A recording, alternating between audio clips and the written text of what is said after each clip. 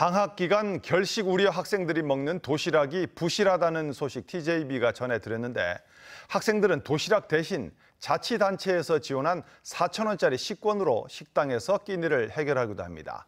그런데 요즘 물가에 4천 원짜리 점심 먹기가 과연 가능할까요? 최은호 기자가 살펴봤습니다. 편의점에서 손쉽게 살 수 있는 도시락입니다. 여섯 가지 먹음직스러운 반찬이 담긴 이 도시락의 가격은 4,000원입니다. 이번엔 대전 결식 학생들이 먹는 도시락인데 편의점 제품과 같은 4,000원어치입니다.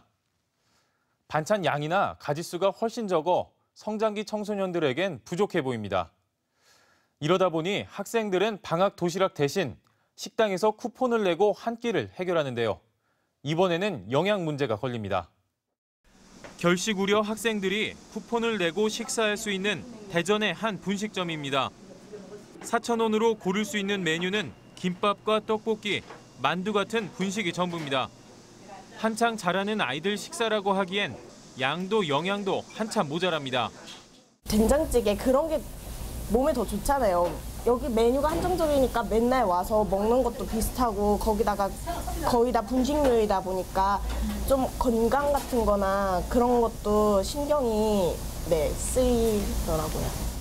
올 여름방학 대전 지역 결식 학생은 6,300여 명.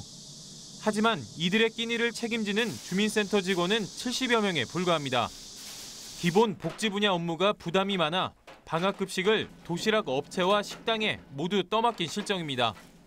반찬이 뭐 어떤 종류로 나오는지 뭐 언제쯤 배달되는지 그 정도만 간단하게 아는 정도입니다. 다 그쪽에서 이제 하다 보니까요. 방학 기간만이라도 급식 단가를 올리는 등 구체적인 방안이 필요하다는 지적이 나옵니다. 방학 중에는 조금 높여서 실질적으로 아이들이 먹고 싶은 걸 먹고 그 영양이 충분히 공급될 수 있는 그런 식단이 좀 마련됐으면 좋겠다는 생각이 듭니다. 밥 굶는 학생 없이 균형 잡힌 식사를 제공한다는 목표로 도입된 방학급식. 터무니없이 낮은 단가와 부실한 관리로 아이들 점심 식사는 빈약해져만 갑니다. TJB 최은우입니다.